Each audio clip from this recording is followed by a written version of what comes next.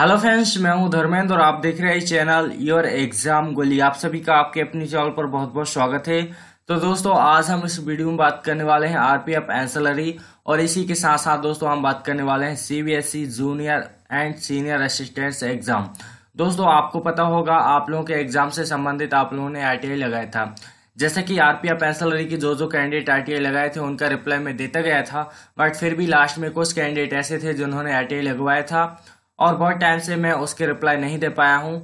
इनके आरटीआई का रिप्लाई आ गया है दोस्तों, मैं बताने वाला हूँ। इसके साथ साथ सीबीएसई एग्ज़ाम से संबंधित कैंडिडेट ने आरटीआई लगाया था, उनका रिप्लाई भी आ गया है, मैं यहाँ पर बताने वाला हूँ।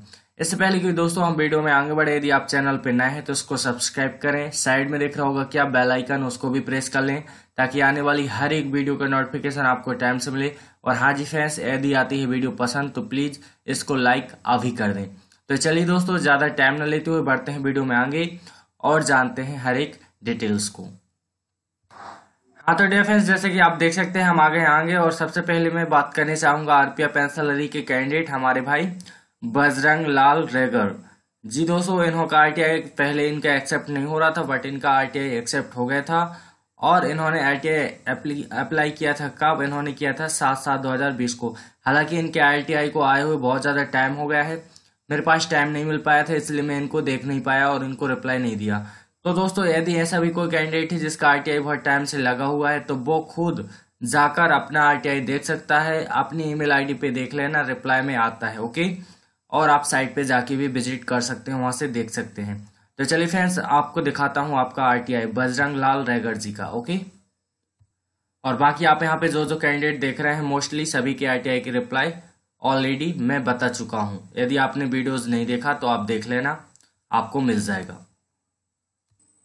तो फ्रेंड्स जैसे कि आप देख सकते हैं, यहाँ पर स्टेटस में आपको शो हो रहा है। यहाँ पर इंटर रजिस्ट्रेशन नंबर दिया गया है भाई का बजरंग लाल रैगर जी का। आप यहाँ पे नाम देख सकते हैं चूँकि एक प्राइवेसी के तहत मैं इनका जो रजिस्ट्रेशन नंबर है, वो शेयर नहीं कर सकता, ना ही यहाँ पर कुछ और चीज़ें बता सकता हूँ।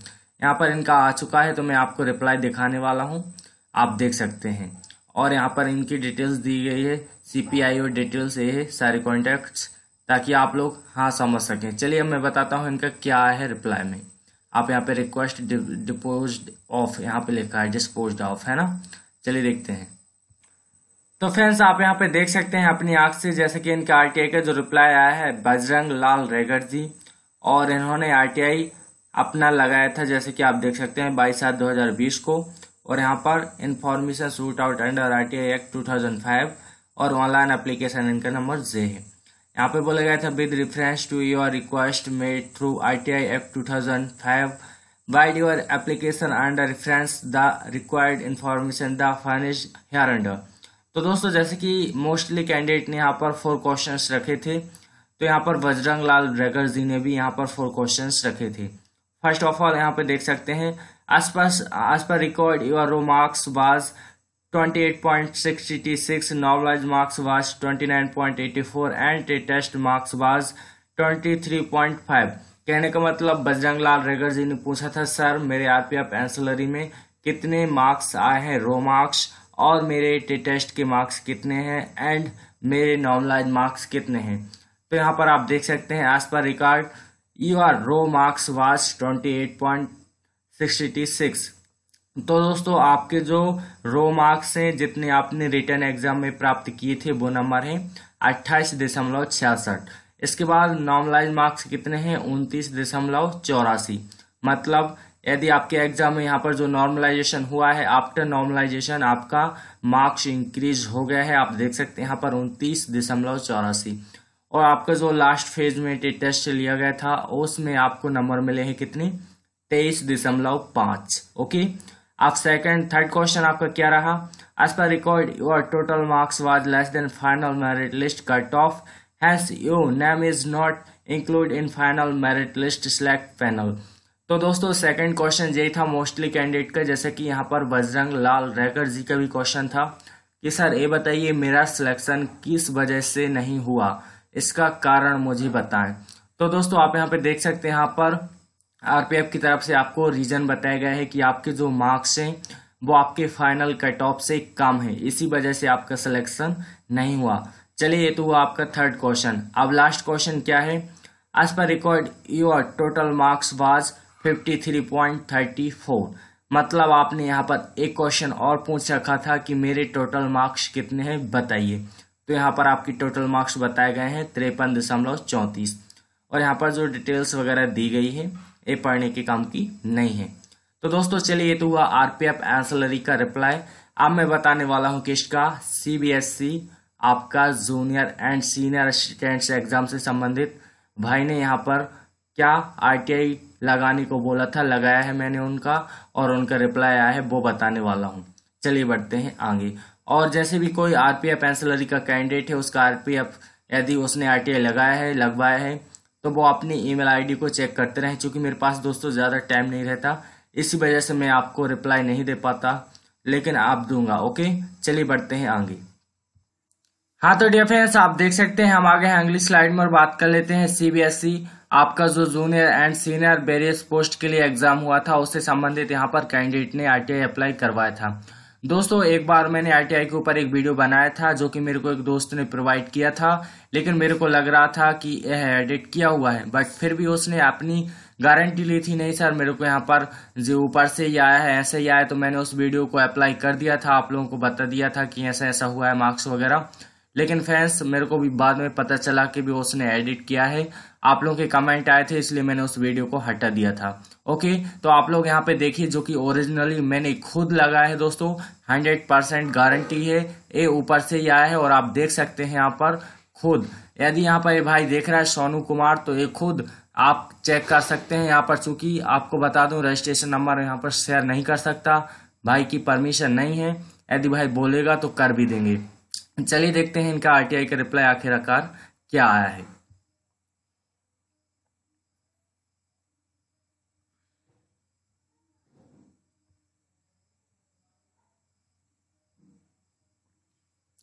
तो दोस्तों, आप यहाँ पे देख सकते हैं, जैसे कि मैंने यहाँ पर आरटीआई का रिप्लाई ओपन कर लिया है। आप यहाँ पे देखिए, केंद्रीय माध्यमिक शिक्षा बोर्ड। जैसे कि आप देख पा रहे हो दोस्तों, केंद्रीय माध्यमिक शिक्षा बोर्ड, यहाँ पर जो आपका सीबीएसई की तरफ़ से रिप्लाई दिया गया है और यहाँ पे देख सकते हैं, सोनू कुमार जी है, ग्राम पोस्ट। यहाँ पर ईश्वरपुर बिहार से बिलोंग करते हैं।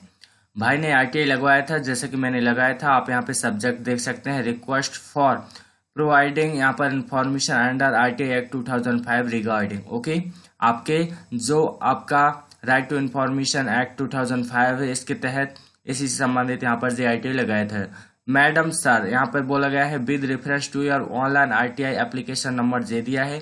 डेट आपकी फिलिंग थी बीस सात दो हज़ार बीस सेकिंग यहाँ पर certain information under R T I act two thousand five the information therefore, as per available record is given hereunder तो दोस्तों, आप देख सकते हैं, जैसे कि रिकॉर्ड में बताया गया है, वैसी इन्फॉर्मेशन यहाँ पर प्रोवाइड की गई है।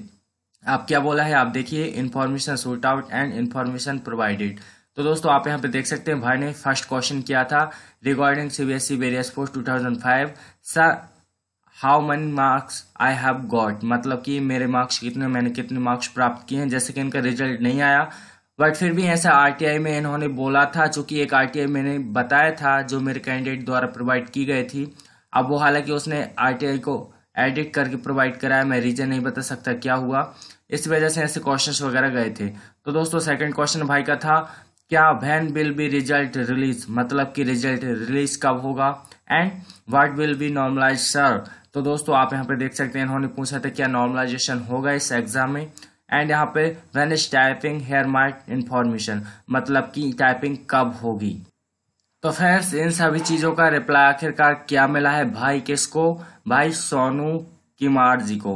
तो दोस्तों आप यहाँ पे देख सकते हैं रिप्लाई में दिए गए हैं मार्क्स डिक्लेरेशन यहाँ पे बोला है and skill test date timing schedule has at what not been यहाँ पे decided recruitment process is still under process However, the applicant is requested यहाँ पे बोला है to visit C B S C official website regularly for latest information तो दोस्तों, यहाँ पे बोला गया है कि इसका शेड्यूल जल्दी अभी तैयार नहीं किया गया मतलब कि आपका जो स्किल टेस्ट कब होगा और आपके मार्क्स डिक्लेयर कब होंगे।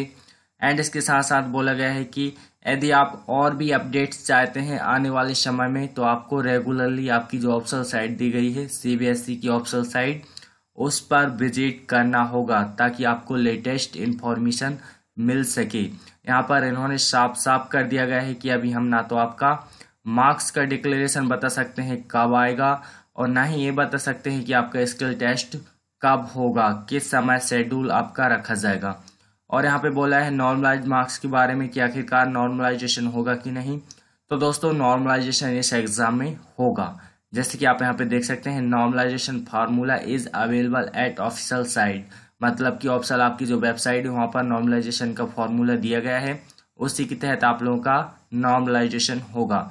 और यहाँ पर आपकी इन्फॉर्मेशन के लिए इन्होंने आपकी ऑप्शनल साइट का एड्रेस भी दिया है C B S E dot N I C dot in okay तो दोस्तों ये है बिल्कुल हंड्रेड परसेंट सही ट्रू इन्फॉर्मेशन जो कि मैंने आर लगाया था और रिप्लाई में आया है। अब वो उस भाई ने मेरे साथ फ्रॉड कर दिया, उसका तो मेरे को पता नहीं, इसके लिए सॉरी चलिए फ्रेंड्स लेते हैं आपसे विदा। वीडियो पसंद आई हो तो प्लीज़ लाइक करते जाएँ। और आपके मन में कोई कमेंट्स है डाउट है क्वेरी है तो कमेंट्स बॉक्स में अवश्य करें। और यदि आरपीएफ एंसलरी वाले कैंडिडेट चाहते हैं कि सर मेरा आरटीआई लगा दीजिए तो बिल्कुल वीडियो के डिस्क्रिप्शन बॉक्स में लिंक दी गई है, आप उस पर विज़िट करके अपनी सारी की सारी इन्फॉर्मेशन सबमिट कर दें। पेमेंट करने के बाद यदि आपका पूरा पूरा एड्रेस हमारे पास आ जाता है तो आपका आर टी हंड्रेड परसेंट लग जाएगा। और ऐसे एक से दो कैंडिडेट देखे गए थे कौन? सीबीएसई वाले जिन्होंने आरटीआई के लिए पेमेंट कर दिया था बट उनका दोस्तों इन्फॉर्मेशन उनसे सबमिट करते नहीं आया। इसी वजह से उनकी जानकारी हमारे पास नहीं आई है और उनका आरटीआई फिलअप नहीं हुआ था। मैंने उनको कॉल भी किया, उनने कॉल रिसीव नहीं किया। मैंने उनको, उनकी ईमेल आईडी पर इंफॉर्मेशन सबमिट करने के लिए लिंक प्रोवाइड कराया, बट उन्होंने अपनी इंफॉर्मेशन प्रोवाइड नहीं कराई तो इसमें मेरी कोई गलती नहीं है। उनका आरटीआई फिल नहीं हुआ। इन भाई का आर आरटीआई फिल इसलिए हुआ, इनकी इंफॉर्मेशन हमारे पास प्राप्त हो गई थी। तो दोस्तों, आपके मन में अभी कोई डाउट्स है तो बिल्कुल बेझिझक करना, मैं उसका रिप्लाई ज़रूर दूँगा। तब तक लिए फैंस लेते हैं आपसे विदा। टेक केयर अपना ख्याल रखना ओके जय हिंद, जय भारत।